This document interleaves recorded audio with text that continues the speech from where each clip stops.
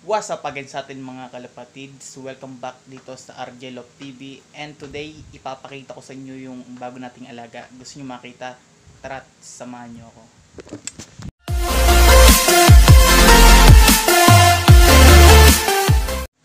So, ito ng mga kalapatids, yung mga bago nating alaga. Ayan, oh. Is- Dalawang African lovebirds. Ayan, mga kalapatids. Comment kayo sa baba kung anong gusto gusto niyo ipangalan natin sa kanila para ano para meron silang pangalan. Yan sila. Isang par blue saka ano isang vi- violet fisher. Ayun yung bago nating alaga. Yan sila ang mga kalapatids try natin paramihin sila mga kalapatids. Kasi ano medyo bata pa kasi sila ngayon kaya hindi pa ako nakapag-breed ayun yung bago natin alaga mga kalapatids.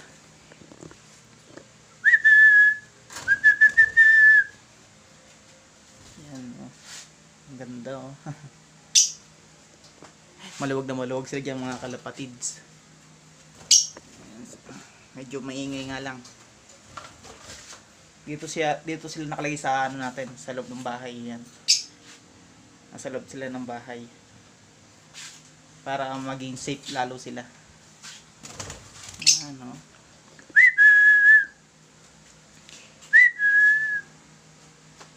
kaya magandang ipangalan sa kanilang mga kalapatids comment lang kayo sa baba para makita natin kung magandang magandang pangalan.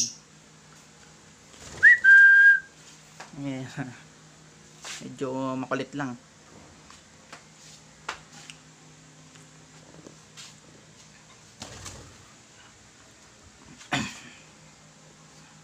Pasensya na ngayon lang din ako nakapag-upload kasi marami tayong ginagawa ngayon. Alam nyo naman mga ano boy estudyante nag-aaral. Kaya pag may time lang ako saka ako nakapag-vlog. Hindi. Sila oh. tingnan nyo yung bago nating alaga At ito yung pinapakain ko sa nila ngayon mga kalapatids. Yan. Yung pagkain nila.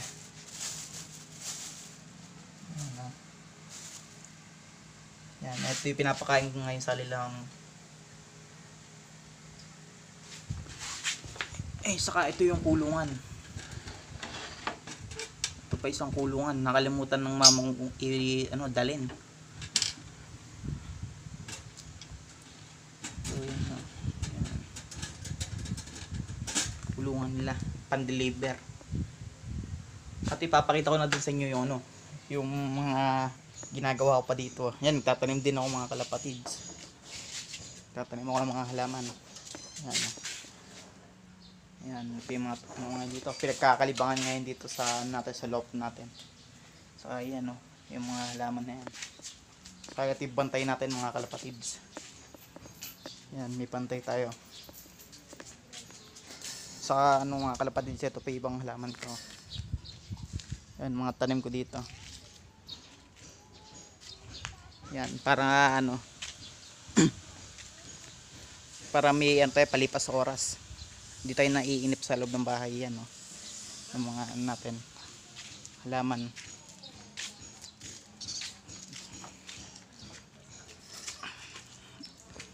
Yan pa mga kalapatids.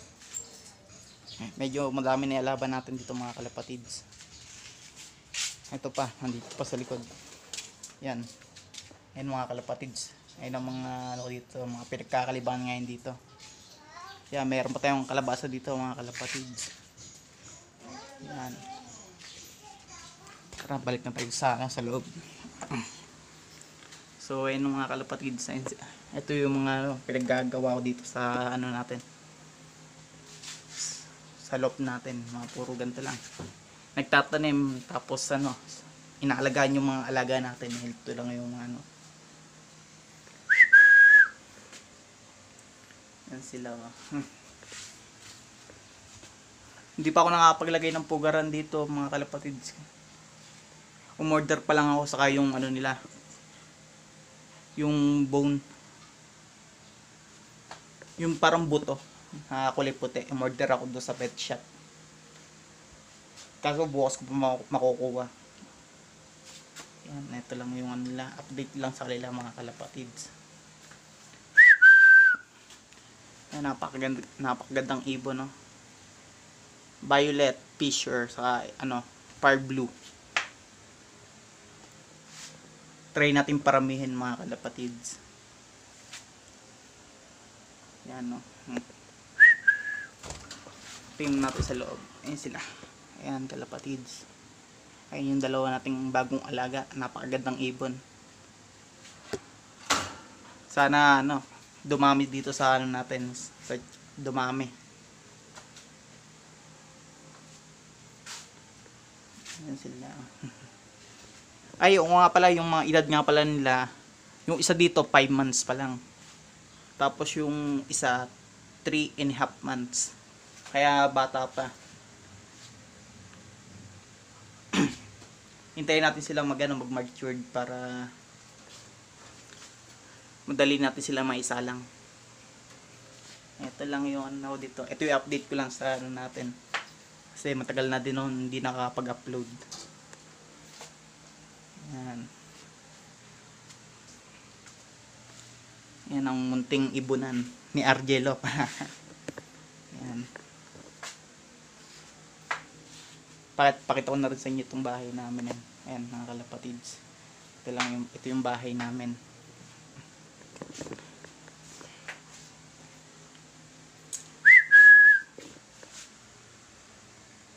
Comment kayo sa baba kung mayroon din kayong alagang African lovebirds para pwede ako magpaturo din sa inyo kung paano silang inaalagaan.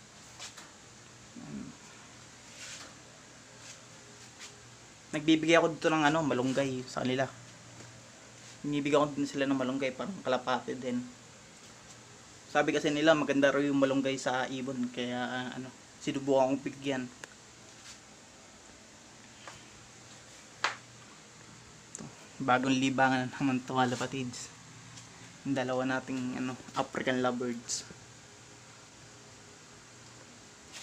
And binili ko din ng ano yan, double cage para maluwag-luwag yung lalagyan nila.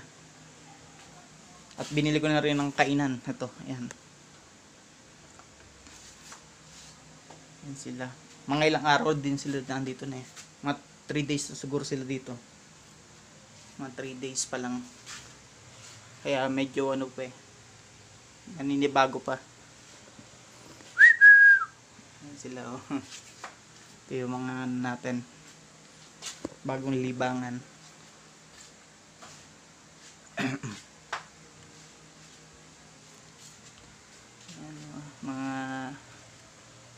mga nating alaga.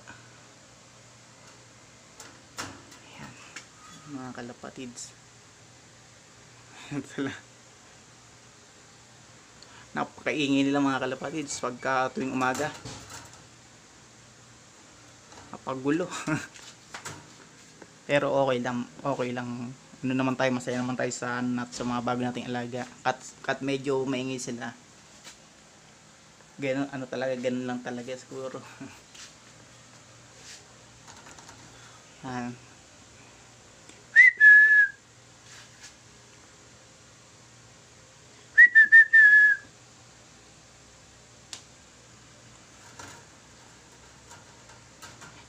Comment kayo sa baba kung mayroon kayong alaga. Tapos sabihin nyo sa akin kung ano, kung paano sila inalagaan at kung ano mga vitamins nila para ano para madagdagan din yung kaalaman mo sa African lovebirds. Mga kalapatids. Kung si Madlalop may caps. Tayo naman comment nyo pang, ipapangalan natin sa kanila. Yan saka bala ko din sana bumili ng ano ng handpid na ganito. Yung maliit pa lang hinahandpid para meron din tayo maturuan soon pagka nagka ano tayo nagka budget tayo bili tayo ng anong ganun handpid na handpid natin para may may pinaglalaroan tayo dito sa ano natin sa channel natin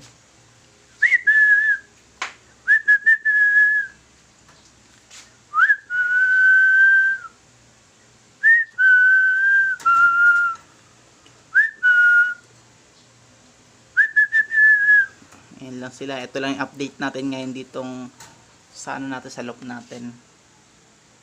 Yan.